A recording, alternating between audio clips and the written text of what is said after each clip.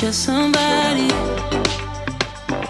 longing for someone to hold me. It could be anybody, but you chose me somehow.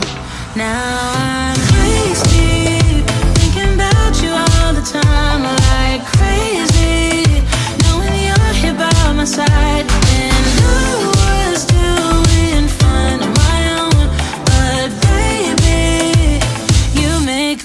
a whole lot better.